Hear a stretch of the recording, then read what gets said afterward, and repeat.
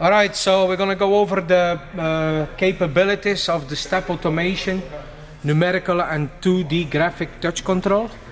Here we have uh, the main screen where you have the configuration which shows you if you can put it in inches or in uh, metric.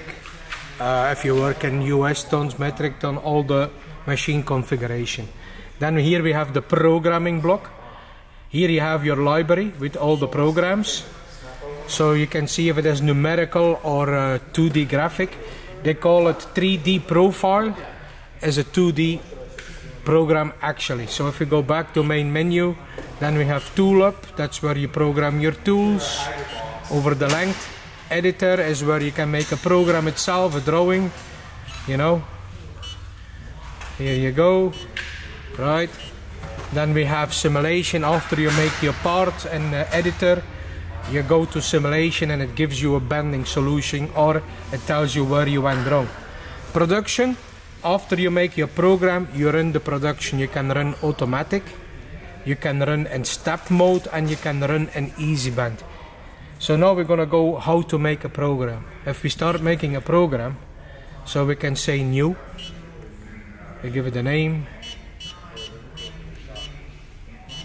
right? So here we can choose 3D profile, which is a 2D part.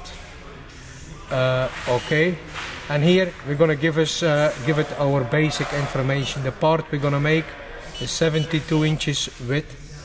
Our thickness will be 16 gauge. Here we can choose if we what material we're gonna bend: steel, stainless, aluminum.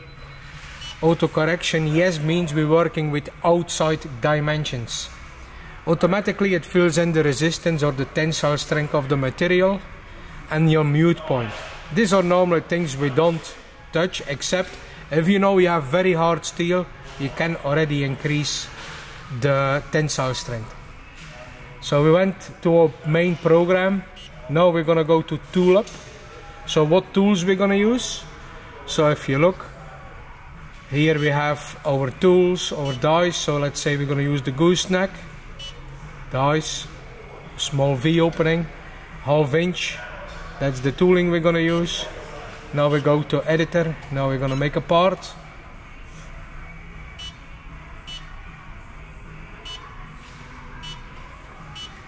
Whatever. So now after we made this we can edit our part. So if we go back to the first length we say okay we want this to be 7.5 inches. This we want to be 5 this angle we want to be minus 135 we want the length to be 4.5 this one we want to be 3.5 angle 90 oh we made a mistake. It should be minus 90 right or we should go 135 then our last bend is let's say 3 inches and we should be at 90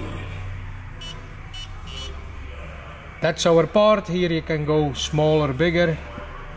Enter. Now we're going to simulation. With the tooling we choose with the part we made now it's gonna gives us a solution. Let's go to the first band. Previous previous. So here we see the first band. We are happy with that. Second band happy with that. Third band. Done. If everything looks okay we say generate program.